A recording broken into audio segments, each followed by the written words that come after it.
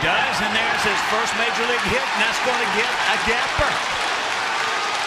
So he's going to turn it on. He's going to move on into third base with a stand-up triple, and it's one nothing. Good guys.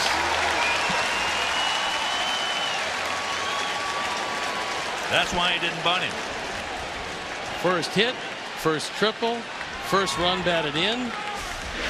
It is his second game, so he gets a fastball. It's right down the middle. And this one is crushed by Saladino. No chance at all for Soler or Fowler to get to this. And Tyler has big speed, so he makes it easily into third base. Well, fundamentally, Tyler Saladino is as sound as anybody on our ball club.